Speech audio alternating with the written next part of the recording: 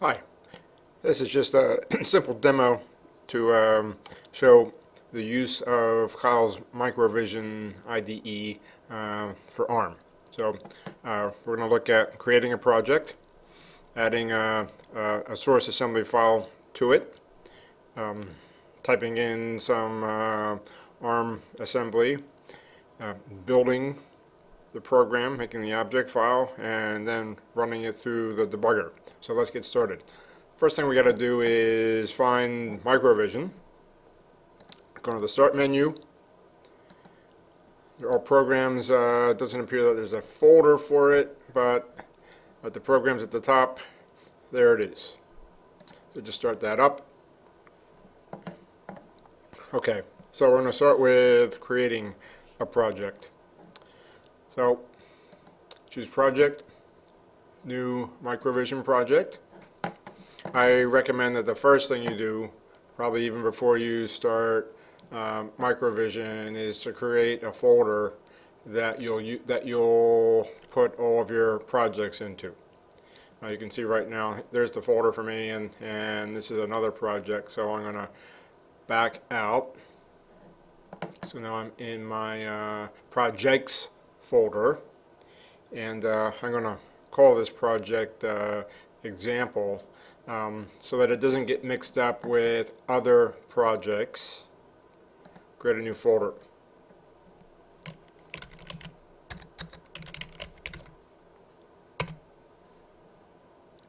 Go into that folder and then give a file name for the project configuration file. This is the um, if you're opening an existing project, this is the, file you want to look for to open. Go ahead and save that. Next we have to uh, choose the target device.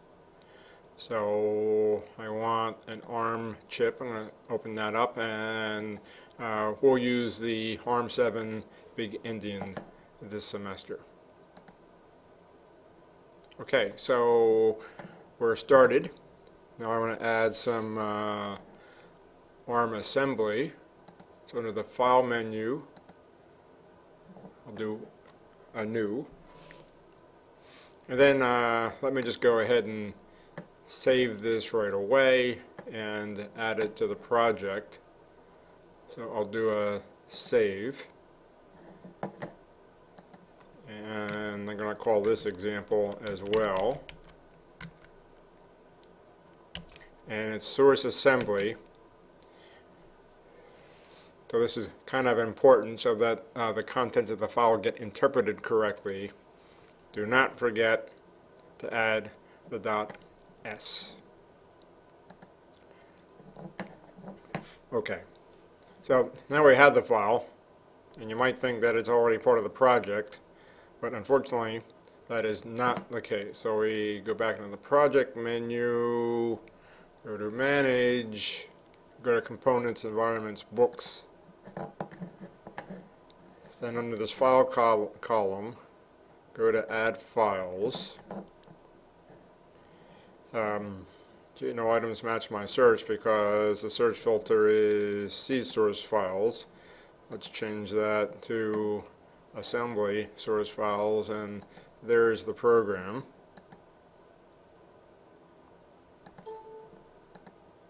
Okay, so that's added. Click OK. If we open this up, there, this is what you want to see. You want to see that it is added. Okay, now I'm ready to start adding directives and code. Um, first I have to declare uh, a segment for the code. Now, I'm going to hit tab. Um, these first couple of lines, well, actually, the only thing for now that should be in column 1 are labels. Um, so this is another important thing to pay attention to. So anything that's not a label should not be in column one. Okay, so you see in the textbook that uh, these directives are typically typed in uppercase. Um, I don't particularly care for uppercase, so I'm going to break with the convention and type in lowercase. The assembler doesn't particularly care.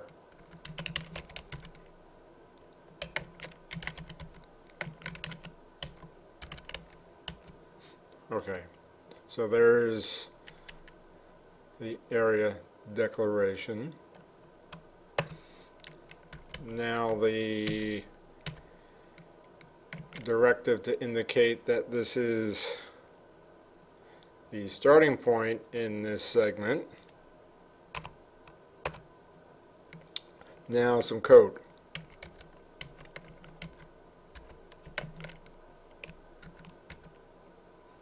Alright, so that this line will move, actually just copy the value 4 into register R0.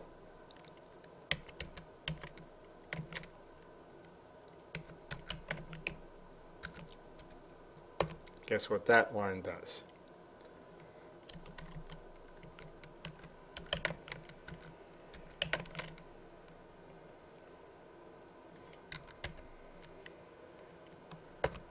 Okay. So now I, uh, we're going to put in a branch instruction um, to create an infinite loop at this point so that the program just stops here. Um, so I need a label for that. So I have to get back to column 1. There I am. There's the label. There's the branch instruction, and there's the branch target. So that branch instruction would simply branch to itself, giving me uh, an infinite loop that doesn't do anything. Okay, and now indicate the segment end. Okay, so to recap, only labels in column 1, anything, any line that doesn't start with a label uh, initial character had better not be in column 1. Okay, let's save that. Now let's build it. Let's just, yeah, there's the build. Okay, we look down here, we see uh, a couple of error messages. This first one is telling me there's a problem with line 1 these at attribute here refers to the attributes of the segment. And I now see that I missed a comment, comma that uses a separator between the attributes. Okay, so let's save, build, okay. Now, I have problems with line 6. It's telling me it doesn't like E0. E0 should really be R0. All right, because what I want is to add the content of registers R1 and R0 and put the result in register R2. So let's go ahead and save, build. Okay, so that uh, successfully assembled. Now what I would like to do is run it. So I'm going to enter the, uh, the debugger. So click on that button there. Um, this is the free version. Of course, they're going to limit its performance, but uh, we're not going to be writing programs that large. Okay, I'm going to resize this panel here so I can see register values. There are all the register values. Uh, everything's initialized to zero pretty much. This reset button will reset the uh, simulated ARM processor Never hurts to, to do that. Here we can see our source assembly. So these lines indicate that the program counter is sitting just before this. This instruction has not executed yet. Here's the actual, this is the assembled code with uh, it also disassembled. So this is the value stored in memory location 0. So we can see that the program counter is set to 0 right now. So the, the processor is poised to execute this move instruction. Um, let's go ahead and run this. There's the run. Okay, so it's it's running as fast as it can right now. We're not going to see anything because it is running. I can stop it here, right, and it's at this branch statement. And we can see the effects of the execution of the instructions. R0 has the value 4, there it is. R1 has the value 5, and R2 has the sum of 4 and 5. The program counter is at address C, which is the, the branch instruction. Let's reset the processor, and now I'm going to single step it so you can so we can see uh, the results of the instruction executions one at a time. So this is the step one line button. So if I click this, the line being pointed to will be executed. Okay. So that line was executed. The program counter increments to 4 and register R0 has the value 4 in it. Do that again and the next instruction is executed. Register R1 has the value 5 in it. One more time. Now R2 has the sum of 4 and 5. And note that the program counter is also incrementing. Now from here, we can click this, since this is a branch back, back to the same instruction. I can execute that as many times as I want, and it's the instruction pointer will never move from there. So let's fix that. I'm going to add, uh, I'm going to modify this branch so that it jumps back up to the to this first move. So I'm going to leave uh, debug mode.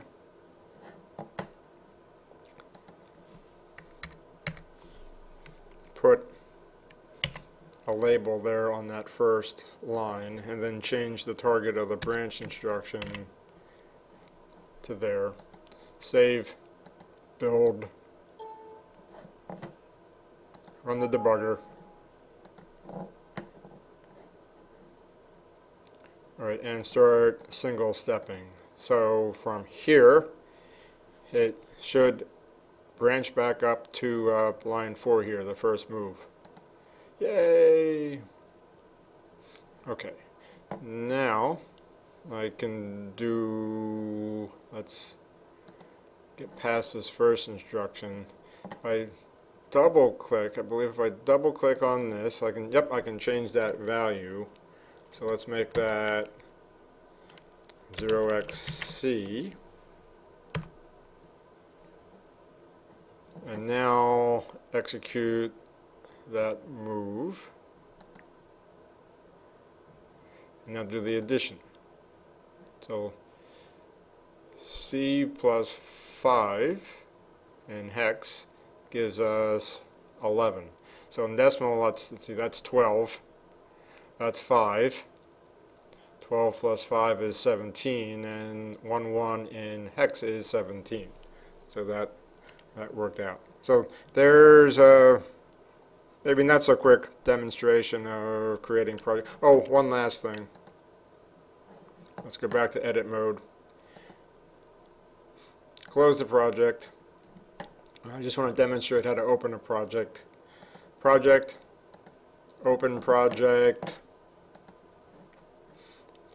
enter your project folder, Here its example, and it'll filter on uh, Microvision projects, double click, boom, we're ready to start editing or, or running.